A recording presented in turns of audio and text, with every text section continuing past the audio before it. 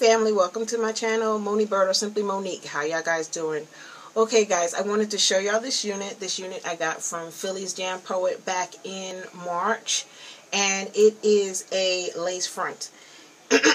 Color is 99J and she added some Brazilian leaf hair um, to the unit to make it fuller. It is 16 inches as you can see so it comes here and it is beautiful. Now you know usually I do not wear lace fronts that much anymore because of um, open wefting and this is an open wefting cap and here it is. That's the inside of the cap. Um, but it's so full and it's so pretty. It's very nice lively. The hair has movement. Let me show you on the back there you go. And it is beautiful. When she sends the unit, it does, well, now, because before they didn't come in a box, but look. The latest one, it comes in a box. It's uh, Beat Elite, and it she sends it by priority mail, and I love it. It was a bang. This was originally styled by JReady, and then Philly put her uh, touches to it, and I love it. I love it. I like the color. It's a little different for me because I'm not used to the um, like light burgundy or manic panic pink highlights but it's cute. I didn't like the bang so much so I had when I washed it I just molded it to the side and then um, just added like a little part and that's it. And I didn't I don't pluck or tweeze because sometimes I um I don't want it to um I don't want to mess up to be honest with you.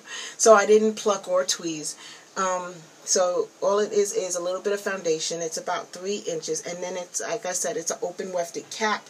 And she had added hair and it's beautiful. It's so nice and full. I had wore it in April.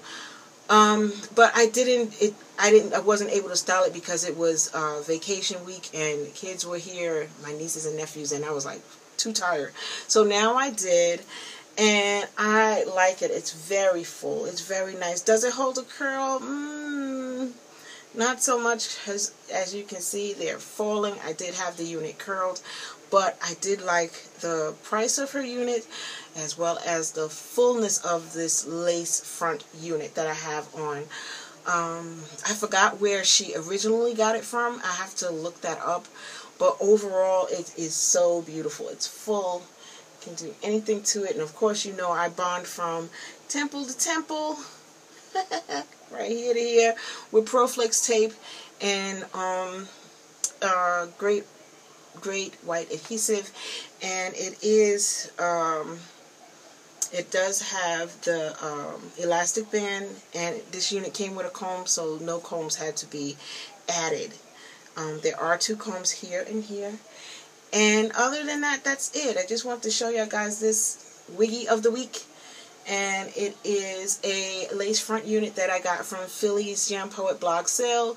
Good price point. Um, she does very good work as far as customizing her units on most of them. Um, I just love it, and her price point is good, and she always sends you tracking and stuff, so you don't have to worry about your hair getting lost or anything like that. So, I just want to come at you guys. Look, look, look. It's so full. It's very pretty, guys. It really is. It's nice. So thank you so much for stopping by, and I hope to see y'all guys again. Enjoy y'all day. Thank you so much. Bye.